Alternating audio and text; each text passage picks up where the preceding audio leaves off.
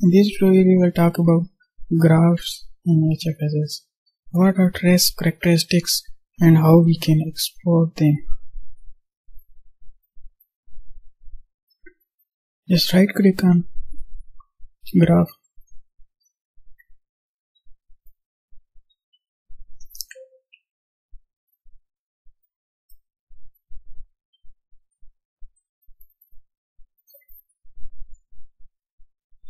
here you can see see that in category.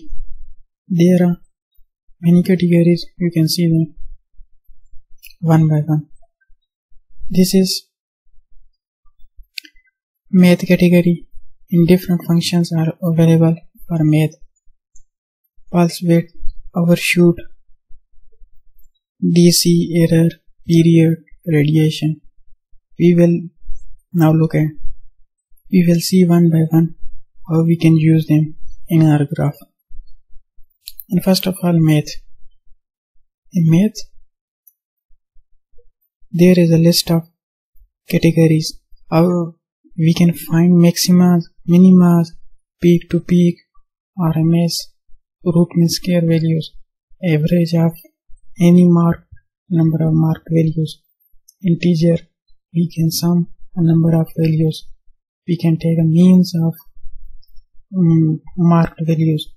We can find variance and lot of another other functions you can you can see there are a lot of other functions. We can use them without without doing any mathematical calculation but directly we can find them. First of all maximum. I'm going to click on add here here you can see that. Here you can see that. This shows the maxima first maxima of this graph. Now I am going to to do again add the same maxima it is going to show. Because there is only one maxima in any graph. Now I am looking for mean minima this is the minima the value of minima you can see here. Similarly what is peak to peak? Peak to peak value. What is the peak to peak value? Maximum peak. This is 38.39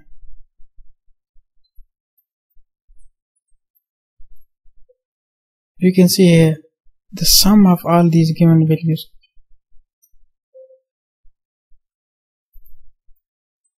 here you can see that I am going to to clear all these. Now I am going to mark some of value and well I, I will find the function of some of them.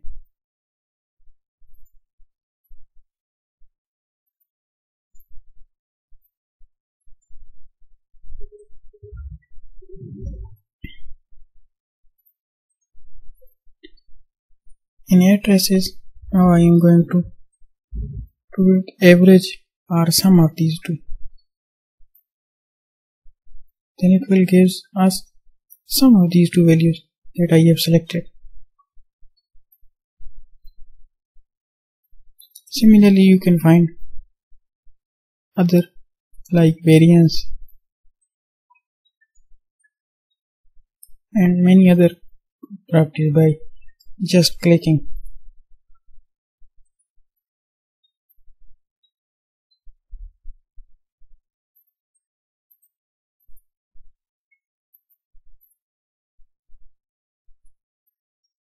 Here you can see that now I am going to change the category from math to pulse width.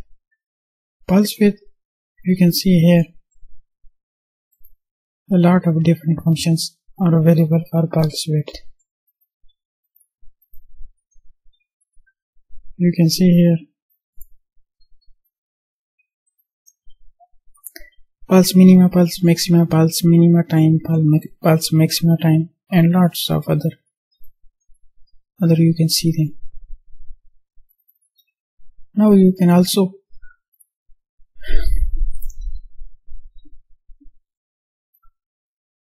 we have also noted this pulse width pulse minima and showing it the purpose of what it will do.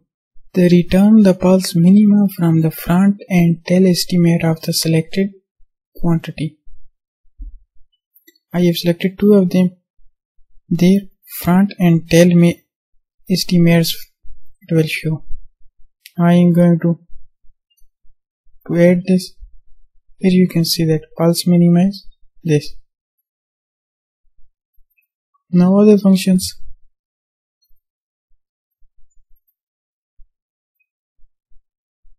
Similarly, I'm going to change the category from pulse width to overshoot, error, period, radiation, like period for this purpose, maximum.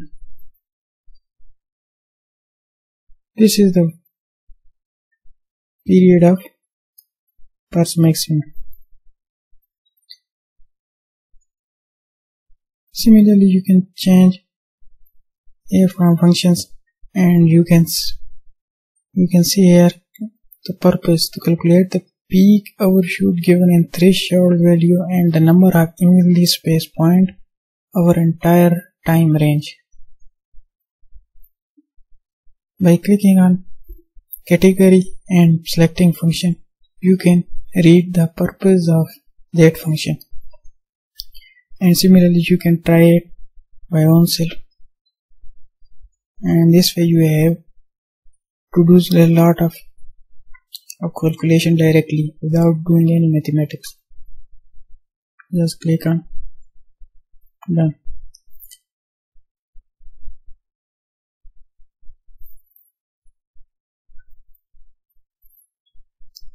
Now look at you can change you can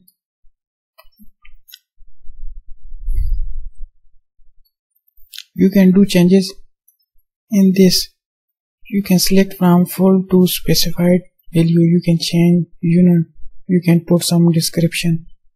You can set the range for maxima of this. Here you can see that you can do that to specify it from 0 to 8 gigahertz this is this become the range to find a maximum. Start range 0 0 to 8 but here I am going to change the frequency from 8 to 4 4 gigahertz unit is also already in gigahertz now this function will find the maxima from the frequency from 0 gigahertz to 4 gigahertz. Now click on add. This this is the maximum. Because the maxima lies the actual maxima also also lies in this range.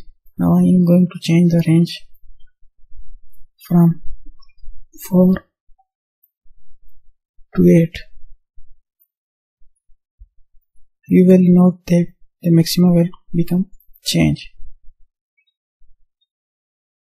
This is another maxima that lies on in the range 4 GHz to 8 GHz and between this. This is our second maximum Similarly, you can change other function.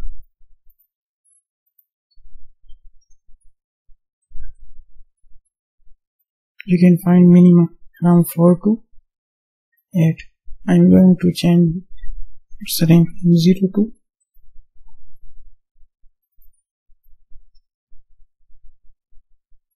from 0 to 2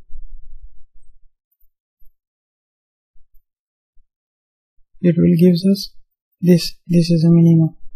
And that lies on this range. And this range minima just comes out.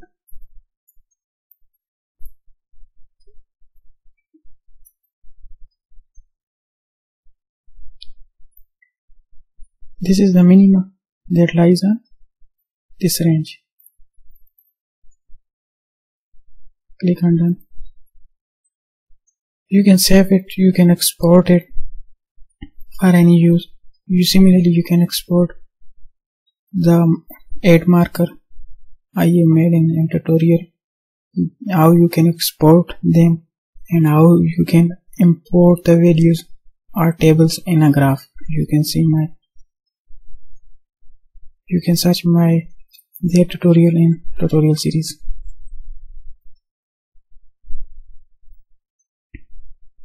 then